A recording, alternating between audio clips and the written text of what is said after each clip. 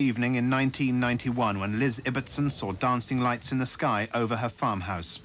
Air traffic controllers couldn't explain it. No planes were flying at the time. Her 18-year-old daughter raised the alarm when she saw objects out of the bedroom window. Stood and watched for a few minutes, and sure enough, it was a red and green, green light flashing, sort of blipping about. But instead of just being in one place, it actually was blipping here and there and Oh, all over. And I thought, well, aeroplanes don't do that. And we watched it come right across here and followed it right the way around to the front of the house, that side. I had no idea what it was. I didn't really think of UFO, to be quite honest. I just thought, I don't know what this is. It's strange, it's weird.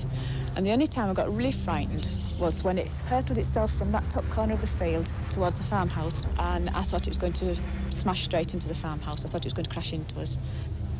The story was printed in the Hull Daily Mail. Other people then wrote to the paper saying that they too had seen a similar object.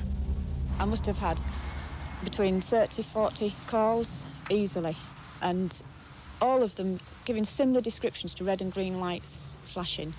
Um, and, you know, just they had no explanation. They, just said it just was so strange. They, they'd seen it playing around in the sky.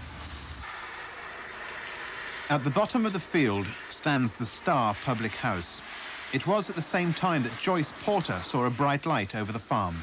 A big bright glow, um, just very bright, and nothing like a star, nothing like an aircraft, or just something I just couldn't say what it was. We came down, and there was um, an oblong shape, about that sort of size, by that, just suspended there, just this bright oblong light.